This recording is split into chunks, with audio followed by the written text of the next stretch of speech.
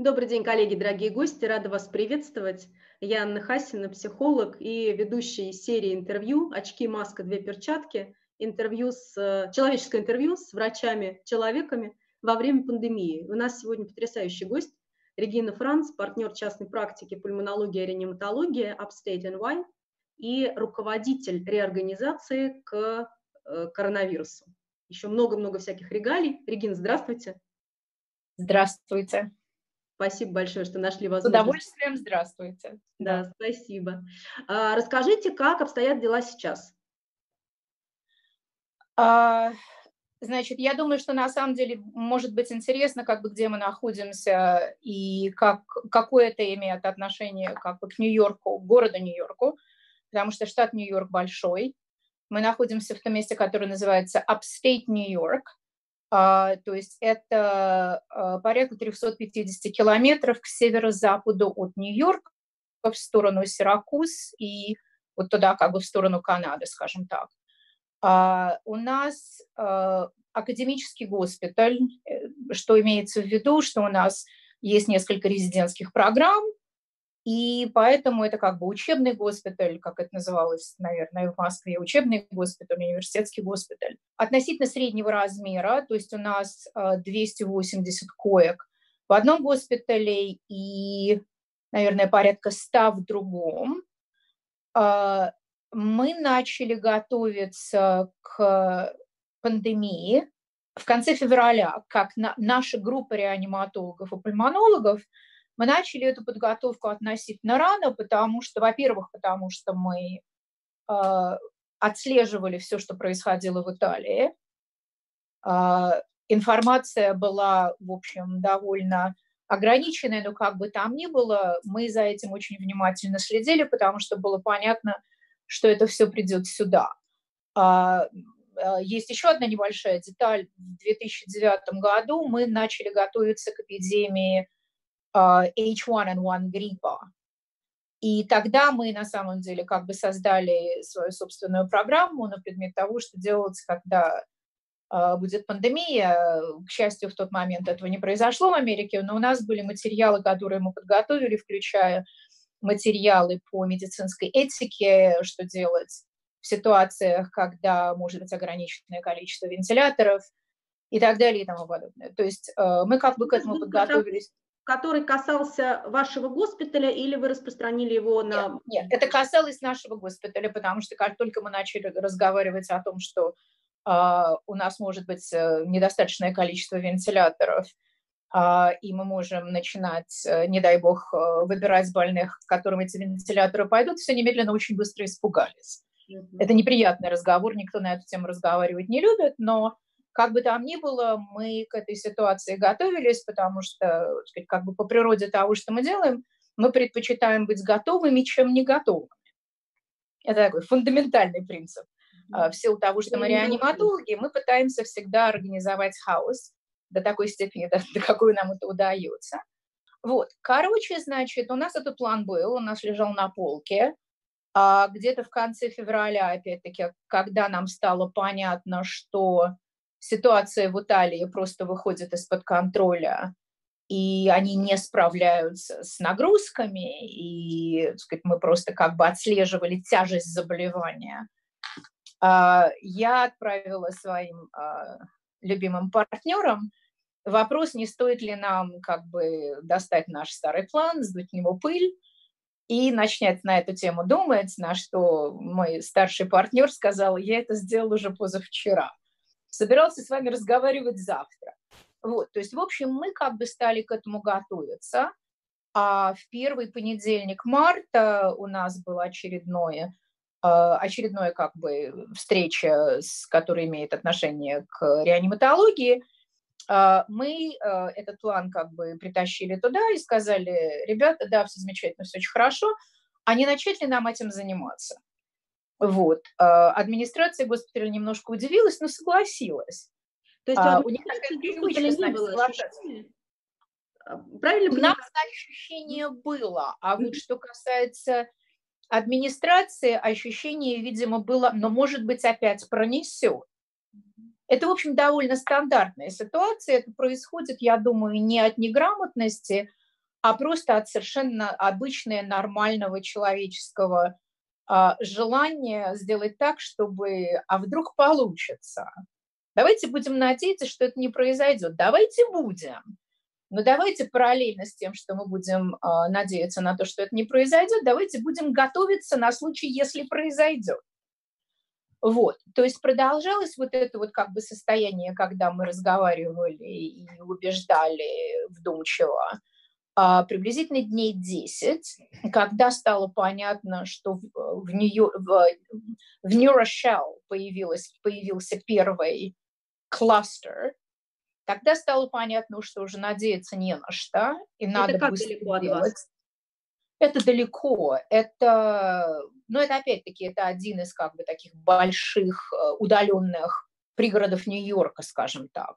Это совсем не у нас, но было совершенно понятно, что у нас или не у нас не имеет абсолютно никакого отношения к делу, потому что все будет происходить.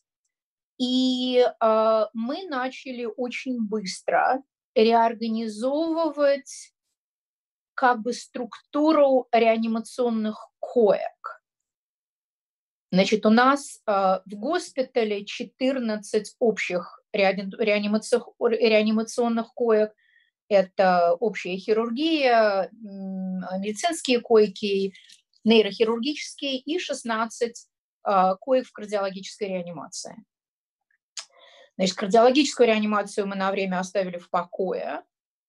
В нашей общей реанимации а, мы а, переделали, то есть у нас было две, мы сделали в результате три палаты, которые называются палаты отрицательного давления.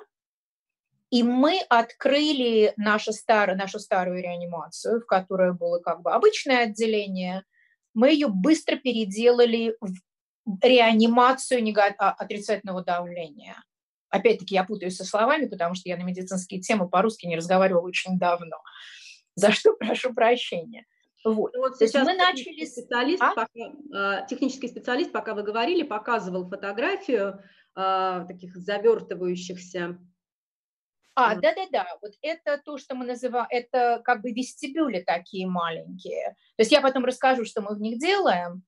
А, а, они как бы, ну да, то есть они создаются просто на месте с, с помощью, там, не знаю, тейп, определенный вот этот вот пластик на а, молниях, mm-hmm. и э, запечатывается это все на самом деле очень быстро и сказать, быстро и легко. Потом мы создали этаж, на который, то есть в реанимацию мы госпитализируем а, вот в, ре, в реанимацию COVID. Мы госпитализируем только больных, которые требуют а, механической вентиляции, а, то есть больные с дыхательной недостаточностью, наверное, это называется, больные в шоках и так далее. То есть туда поступают больные только с COVID. Наша общая реанимация к этому отношения не имеет, за исключением двух-трех палат – в которую эти больные могут попадать. И еще у нас есть два других этажа, которые мы тоже переделали. На одном из этих этажей находятся больные с подозрением на COVID, и, соответственно, люди, сотрудники, которые этих больных смотрят, а, одевают на себя N95 маски, а, пластические face shield, как это называется. Очки? Но это или очки у нас Защитный просто, как, как вы видите, да, это экран, да, а, и там всякие халаты и так далее. А еще у нас есть отдельный этаж, на котором находятся больные с COVID, но которые не требуют реанимации. То есть вот тот факт, что мы разделили вот эти как бы три потока очень быстро, то есть в самом начале, а, видимо, способствовало успеху того, что заражение в госпитале, мы его абсолютно не убрали, об этом нет речи, но по меньшей мере уровень заражения в госпитале снизился. То есть это, видимо, был вот этот успех, которого нам удалось добиться довольно рано. То есть первые четыре недели, которые мы потратили на вот всю эту реорганизацию на каждое утро у нас идет телеконференция с администрацией, с инфекционистами, с э, инженерами, совсем с кем угодно. А, то есть каждый, каждое утро просто обсуждаются все текущие проблемы. Мы это делали, сначала мы это делали, делали 7 дней в неделю, с, прошлого, с прошлых выходных мы делали это 6 дней в неделю. У нас сегодня первый раз, когда мы не будем это делать в выходные, а с понедельника мы начинаем понедельник, среду и пятницу. То есть... Это новая практика, это не стандартная да. практика для госпиталя? Нет, абсолютно нет, нет, абсолютно нет. То есть мы отслеживаем количество масок, перчаток, э, халатов, всего что угодно. Мы начали дезинфицировать э, N95 маски, мы это тоже начали делать довольно рано. Значит, вот э, в этой международной группе COVID-19 э, люди обменивались информацией просто вот каждые 15 минут.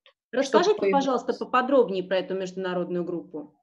А, значит, это, это, в эту группу меня пригласил один из моих бывших, бывших резидентов, один из моих бывших выпускников.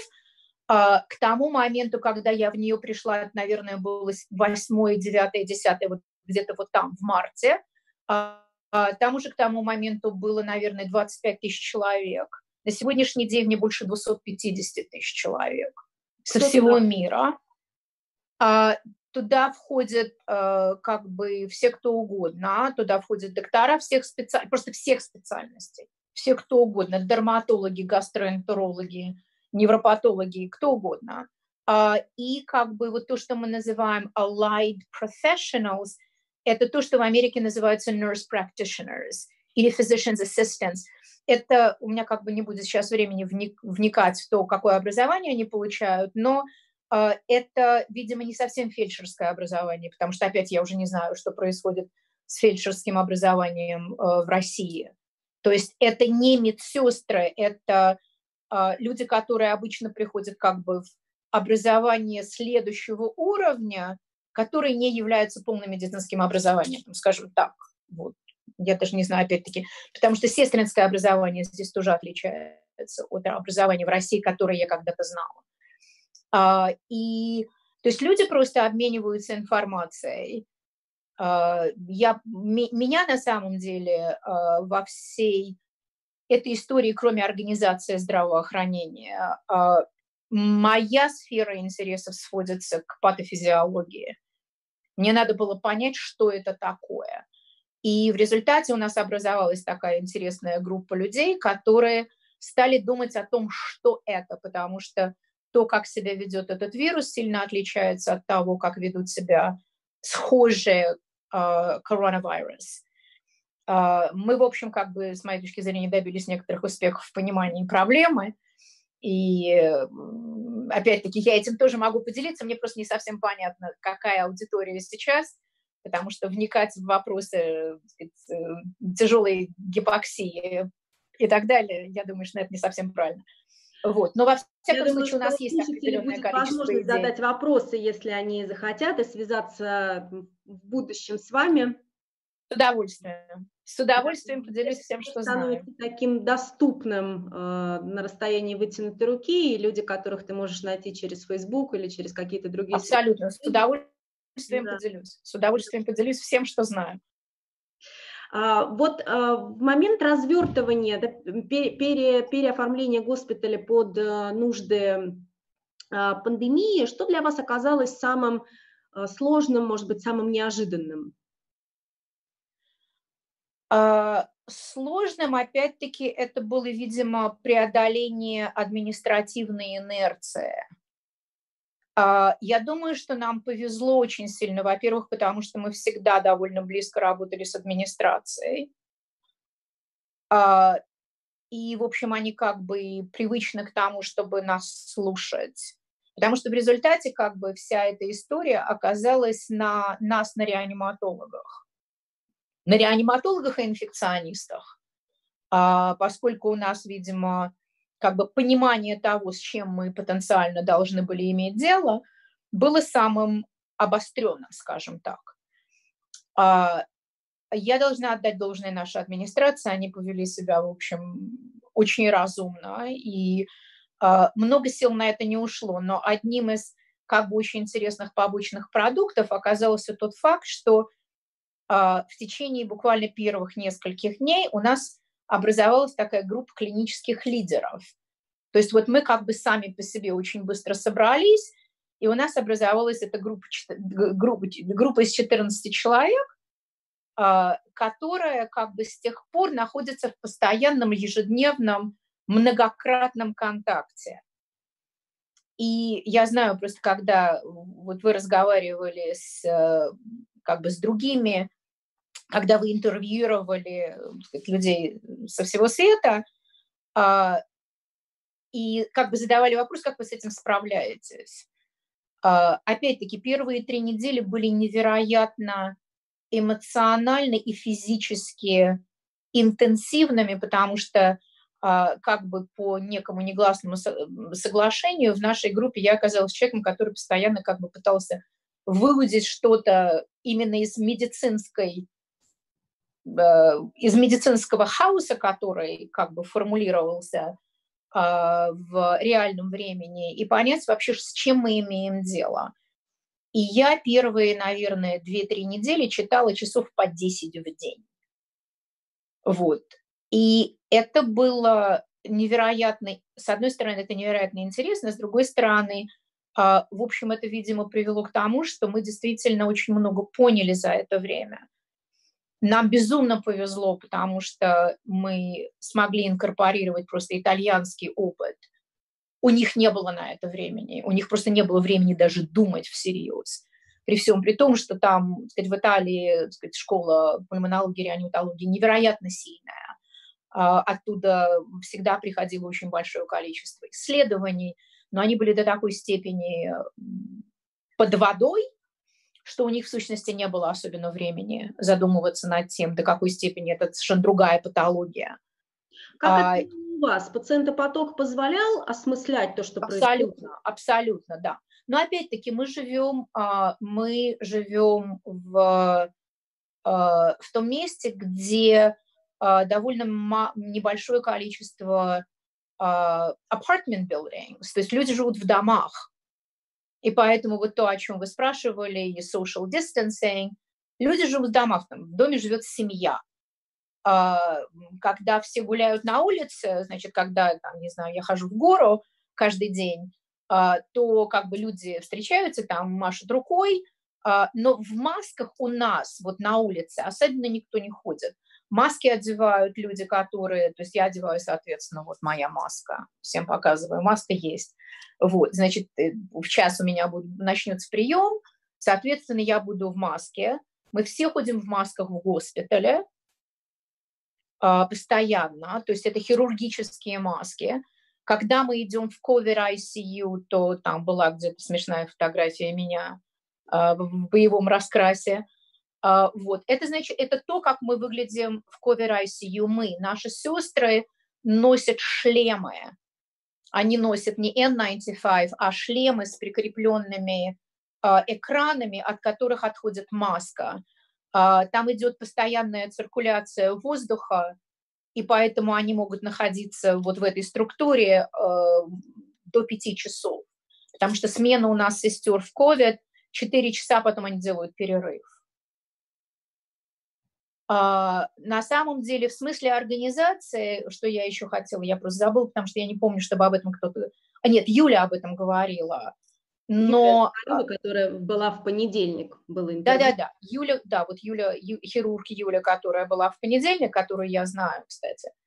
А, значит, дело в том, что, наверное, что было самым сложным и самым как бы вот эмоционально интенсивным в начале, для нас это была работа с нашими сестрами, а, с сестрами в реанимации, потому что, естественно, уровень тревоги был совершенно чудовищный. А, это, естественно, связано с неизвестностью, потому что никто не знал, в сущности, а, что будет происходить. Информация была, в общем, очень ограниченная. И я думаю, что вот первую неделю мы очень много просто разговаривали с нашими сестрами.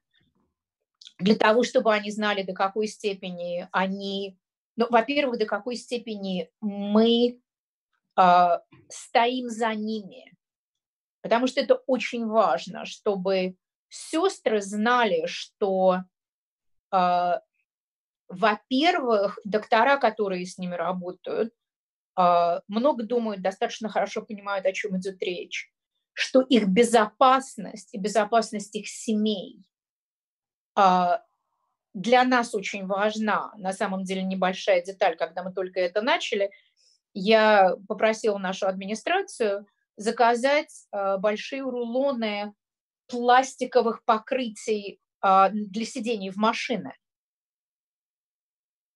Потому что когда сотрудники, которые работают в госпитале, из госпиталя выходят, значит, никто не будет как бы лизолом протирать сиденье машин.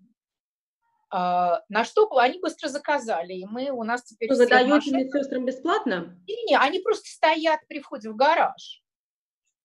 Просто отрывается такой рулон, вот как в, в местах по ремонту машин.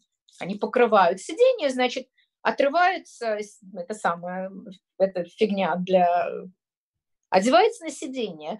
Опять-таки, люди должны очень хорошо понимать, что они не, не брошены как бы на произвол судьбы. И для, для, для нашего, вот особенно для, у нас потрясающие реанимационные сестры, просто потрясающие. А, но люди должны знать, что о них будут заботиться. Потому что ситуация сначала была действительно катастрофическая, потому что никто не понимал, о чем идет речь. Где это, что это, как это будет, как будет работать, а, как будет работать COVID ICU, как будут работать с PPE, где будут маски, будут ли маски.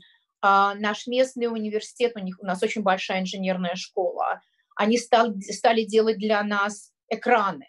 PPE хватает? Хватает, но не в неограниченных количествах.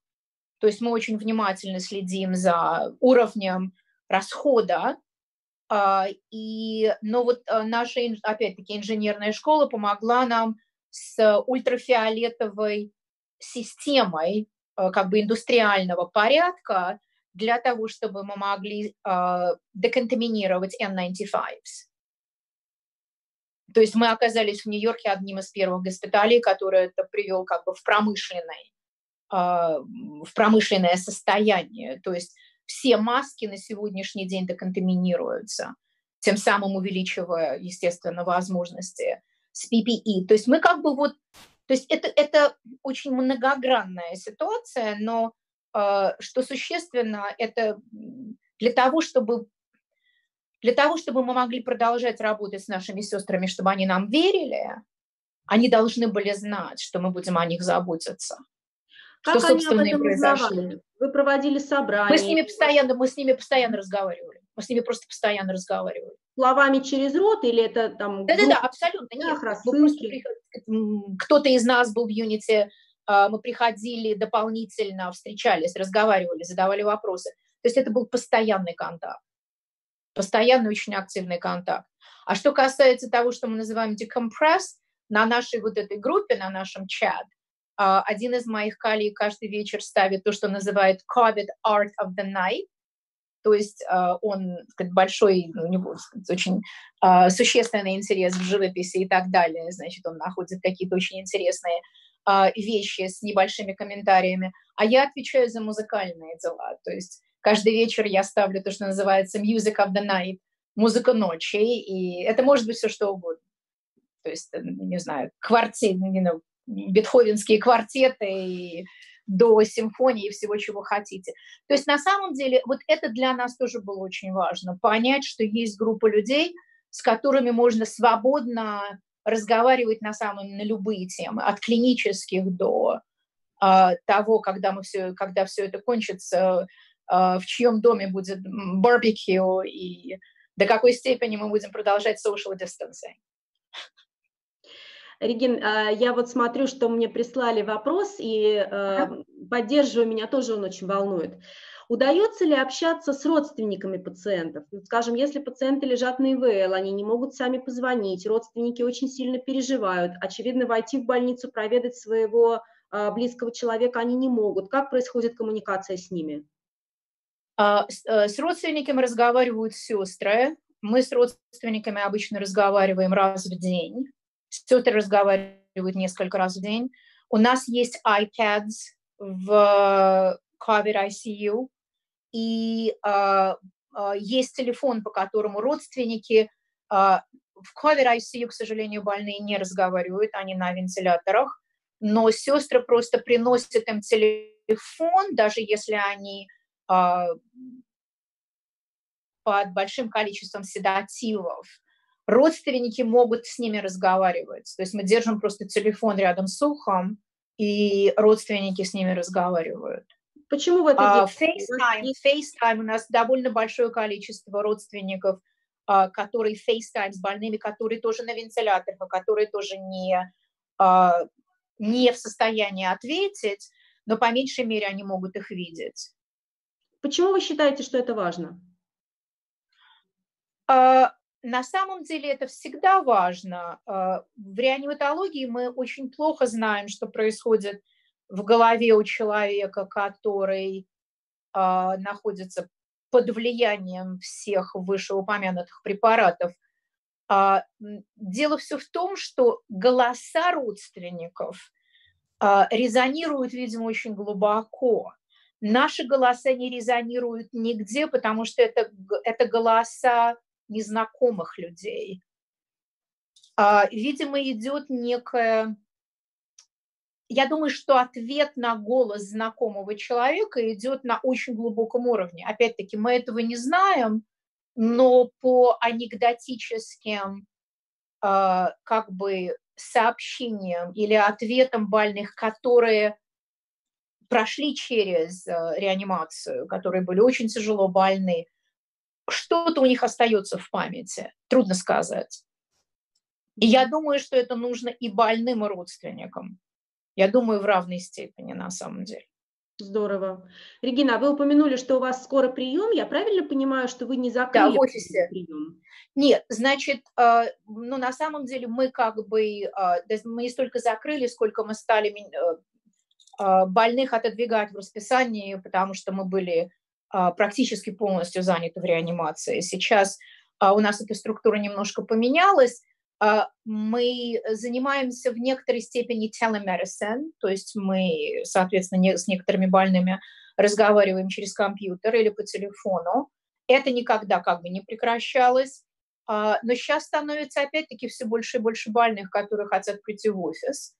А, и у меня уже с понедельника просто полный прием опять, что было довольно неожиданно. А в госпитале, где есть, э, вот вы упомянули три этажа ковидных пациентов, именно на этой территории э, есть прием нековидных пациентов? Или они нет. разделены? Нет, нет, это другие, это другие этажи. Угу. Это другие этажи. Ну, это другие... Или здания? А? Здание то же самое или даже здание? Да, здание то же самое. Здание угу. то же самое. Просто другой этаж. Да, угу. это, это другой этаж, угу. другое отделение. Здорово. А, Регин, что лично вам помогает э, выдерживать нагрузку, справляться с э, вот этими изменившимися обстоятельствами? Музыка. Читать довольно трудно. Я думала, что когда у меня будут вот дни, когда я не работаю, я буду читать. Голова занята совершенно другим, она продолжает как бы думать в эту сторону. К счастью, а, моя дочь сейчас приехала из Манхэттена, она у меня, она дома, так что это тоже, в общем, большое дело. Она дома не жила последние пять лет, так что это очень помогает. Ну и, соответственно, друзья, которые, бог знает где, по всему миру. Мы постоянно разговариваем. Вот это, я думаю, конечно, очень существенно, потому что особенно первые а, три с половиной недели это было, это было очень интенсивно. Сейчас как-то, ну, как обычно, возникает некая рутина, и это становится проще. А, под занавес я все время задаю один и тот же вопрос всем гостям. Что будет первым, что вы сделаете после того, как эпидемия закончится, и мы вернемся к обыденной жизни? Постригусь. У меня совершенно гениальный парикмахер в Манхэттене, с которым мы периодически разговариваем. Постригусь. А после этого поеду в Израиль и в Италию. А, были эфиры с Израилем, из Италии. С Италии очень многие хотят и оттуда к вам, и от вас туда. Ну да. Да, это такие... У меня просто очень близкая подруга живет в Италии.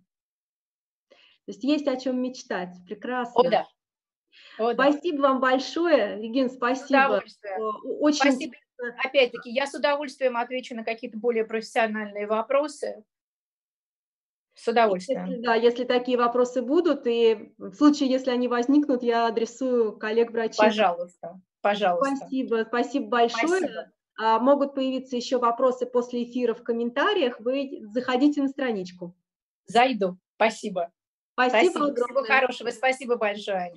Всем большое спасибо, кто нас смотрел и слушал. Мы продолжим на следующей неделе. А пока, пока.